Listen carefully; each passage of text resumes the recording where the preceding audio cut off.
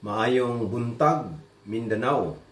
We in the International Coalition for Human Rights in the Philippines, in Europe, together with the alliances, networks, and organizations like the Europe Network for Justice and Peace in the Philippines, the Promotion of Church People's Response in the Philippines, Europe, the Migrante Europe, Anakbayan Europe, and the Europe Chaplaincy of the Iglesia Filipina Independiente express our solidarity and support to the struggles of the Lumads and the Moro people in Mindanao.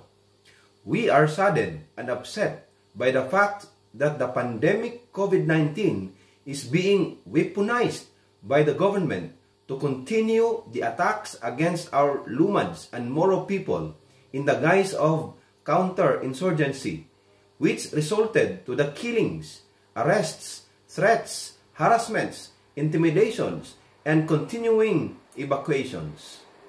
While the pandemic COVID-19 spares no one, the most who suffered are the most vulnerable sectors of our society, the poor, who have been marginalized and oppressed for decades. Together, we must stand and fight for our rights. May we also express and register our willingness to hold a separate webinar like this one and online protest action together with you here in Europe.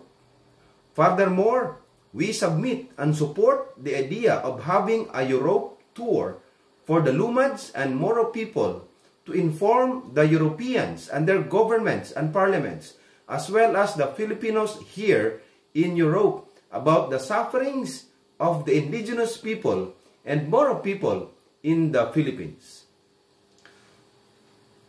Together, let us hold our ground and continue to serve the people until oppression is defeated.